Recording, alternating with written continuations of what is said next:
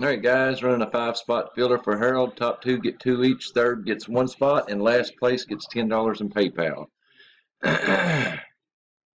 45 total names. 5:30 p.m. We are live.